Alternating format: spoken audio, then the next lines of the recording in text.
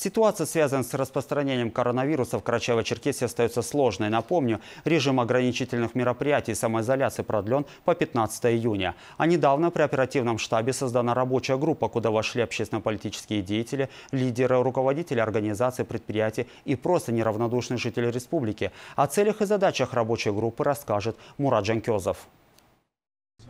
Еще 3 февраля глава республики Рашид Тимрезов подписал указ о создании оперативного штаба для борьбы с коронавирусом. В его состав вошли руководители всех основных ведомств. Их полномочия заключаются в координации усилий по борьбе с вирусом, подготовке решений и рекомендаций для граждан, юридических лиц, государственных и муниципальных органов. Однако COVID-19 оказался очень коварным вирусом – в купе с действиями некоторых несознательных граждан, которые, несмотря на запрет, проводили массовые мероприятия, будь то свадьбы или похороны, вирус быстро распространился. Сегодня, по оценке специалистов, Карачаево-Черкесия находится на пике эпидемии. Актуальным стал лозунг «Все на борьбу с коронавирусом».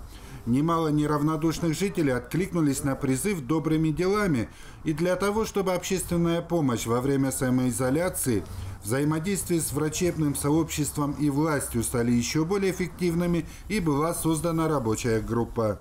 Все общественники, которые в этой теме уже все это время такие большие благотворительные фонды, некоммерческие организации, волонтерские организации, молодежные организации, а также гражданские активисты, которые появились вот сейчас э, на волне борьбы с коронавирусом в нашей республике, и слава богу, что появились. Все они сегодня там объединились, договорились об обмене информацией, об оперативном взаимодействии, и именно для этого создана рабочая группа при оперативном штабе республики. Ведение рабочей группы находятся вопросы, в том числе связанные с материально-техническим обеспечением медицинских учреждений, для того, чтобы спонсорская помощь была правильно распределена между лечебными учреждениями. В этом деле необходим строгий общественный контроль за распределением благотворительной помощи.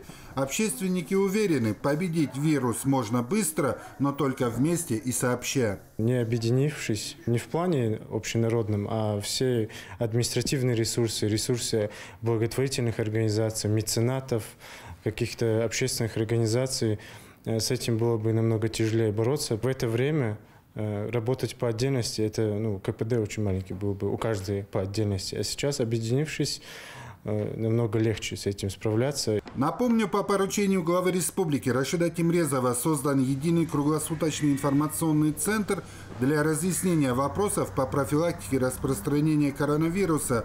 В рамках работы центра организована связь в режиме реального времени с более чем 30 министерствами и ведомствами.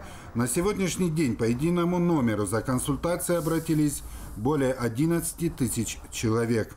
Мурат Жанкюзов, Али Бастанов, Вести Карачаева, Черкесия.